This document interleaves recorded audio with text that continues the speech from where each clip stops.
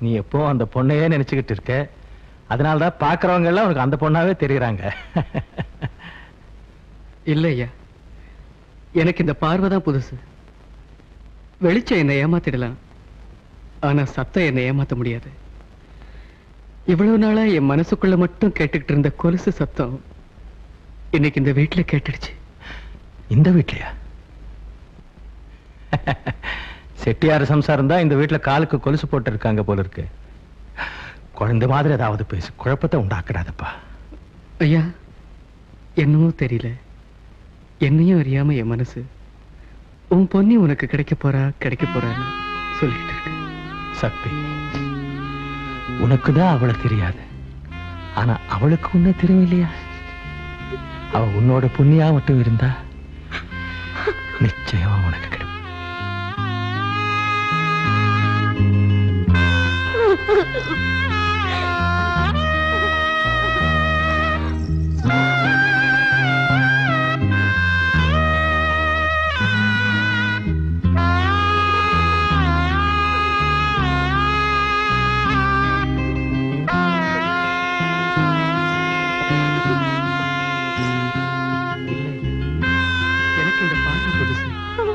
வெளிச்சம் என்னை ஏமாத்திடலாம். ஆனா சத்தம் என்னை ஏமாத்த முடியாது. இவ்வளவு நாளா என் மனசுக்குள்ள மட்டும் கேட்டுக்கிட்டு இருந்த கொலுசு சத்தம் இன்னைக்கு இந்த வீட்டுக்குள்ள கேட்டுடுச்சு.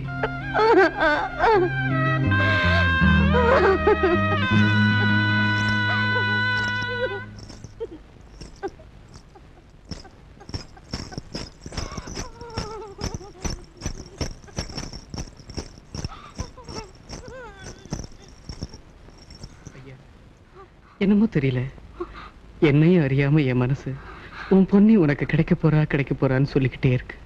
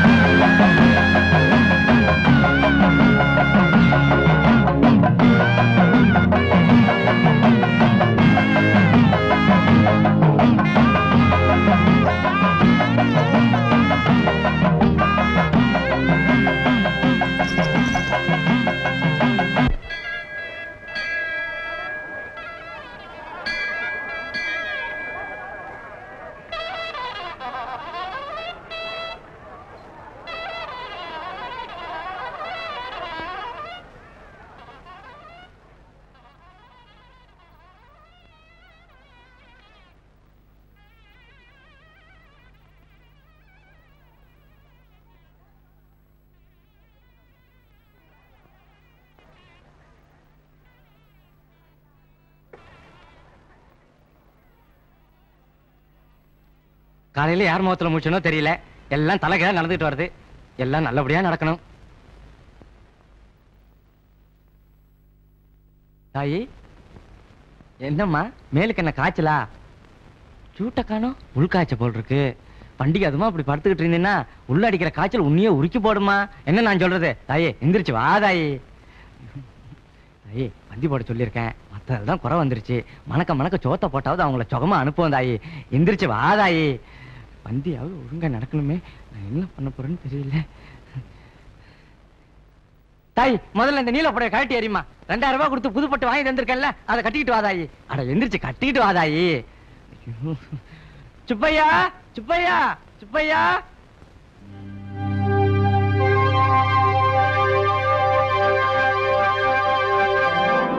பனாரஸுக்கே பறந்து போய் வாங்கின புடவையாச்சே. பின்ன என்ன ஜொலிக்காமையா இருக்கும்? தானாமும் நான் வேணாரும் நான் குடும்பத்து மருமகன் தான் இப்படி இல்ல இருக்கணும் எங்க? நடதாயி நில்லு நில்லு நில்லு எங்க தாய் கொலுசு? குழந்தை பிள்ளை மாதிரி குலுங்க குலுங்க நடந்துகிட்டு இருப்ப. பாரமா இருக்குன்னு கழட்டி வச்சிட்டியா? ம் இன்னைக்கு பாதம் நோக்குதேன்னு கொலுசை கழட்டி வச்சுட்டேன் நாளைக்கு கழுத்து உறுத்துதேன்னு தலை கட்டி வச்சிடுவேன் சம்சாரி நகை போட சங்கரப்படலாமா தாயி? கோயில் நகையிலும் குடும்பத்திலேயே நகை இருக்குதுன்னு பெருமைப்படுற இந்த தானாமூனா வேணா ரூணா குடும்பத்து மருமக கொலுசு இல்லாம கோயிலுக்கு போனாகன்னா அந்த ஆத்தால கோபத்துல மறுபக்கம் திரும்பிக்குவா விருந்துக்கு வர்றவங்களுக்கு செட்டியாரோட மகிமை தெரிய வேணாம். கொலுச போட்டுக்கிட்டு வாதாயி. சுப்பையா பந்திய போடுறா.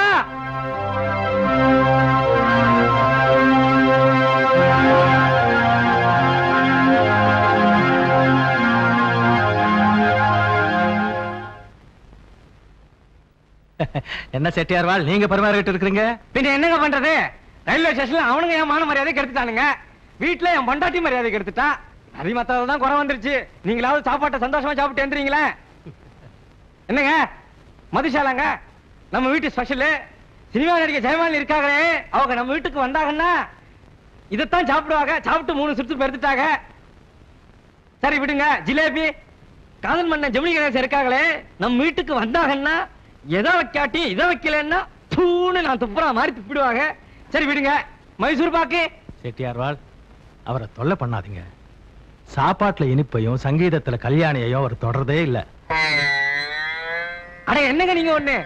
ஜிலேபி இல்லாத சாப்பாடு கல்யாணி இல்லாத கச்சேரி இனிக்குங்களா செட்டியார்வாள் இப்ப எல்லாம் சக்தி பாடுனா பல்லாயிரக்கணக்கில் ஜனங்க கூடுறாங்க. லட்சக்கணக்கில் இவர் சம்பாதிக்கிறார். ஆனாலும் தன்னுடைய ஆன்மாவா முதல் ரசிகா இருந்த காதலிய பிரிஞ்ச பிறகு எதிலையும் பற்றில்லாம தன்னுடைய வாழ்க்கையே ஒரு தபமா ஏத்திக்கிட்டு இருக்கு. மனுஷனுக்கு மனசு கசந்துச்சுன்னு நாக்கு செத்துடும்பாங்க. நீங்க தப்பா நினைக்க கூடாது சிரிக்க சிரிக்க பேசுறீங்களே தவிர மத்தவங்க சிரமத்தை நீங்க புரிஞ்சுக்க மாட்டேங்கிறீங்களே. பாவம் சக்தியோட மனசு ரொம்ப நொந்து போயிருக்கு. இனி பாடுறதே இல்லைன்னு முடிவெடுத்திருந்த அவரை இந்த கச்சேரிக்கு சம்மதிக்க வச்சதே பெரிய விஷயமா போச்சு. இதுதான் அவர் பாட போற கடைசி கச்சேரி.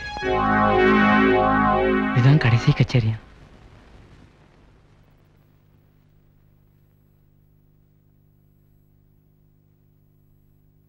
கட்டின பொண்டாட்டி தவறிட்டாலே மறு மாசமே பொண்ணு தர்ற இந்த உலகத்துல காதலிச்ச ஒருத்தியே நினைச்ச அந்த மனுஷன் உருகிக்கிட்டு இருக்கான்னா அவன் ஆம்பளதாய் என்னை எல்லாம் ஆம்பளைன்னு சொல்லிக்கவே எனக்கு வெக்கமா இருக்கு.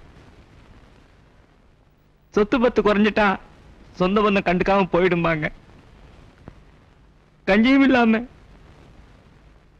கண்ணும் இல்லாம கஷ்டப்பட்டப்ப அத பங்கு போட்டுக்கிட்டவன்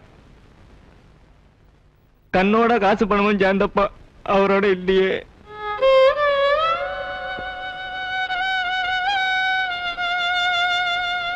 பொட்டச்சி பலபாலன்னு அழுதுட்டேன் ஆம்பளை. அப்பா அத்தா செத்தப்ப கூட விதி விட்டு தள்ளின்னு விவகாரம் பார்த்துக்கிட்டு இருந்தேன். ஆனா அந்த மனுஷன் கதையை கேட்டப்போ கலங்கி போயிட்டேன் தெரியுமா?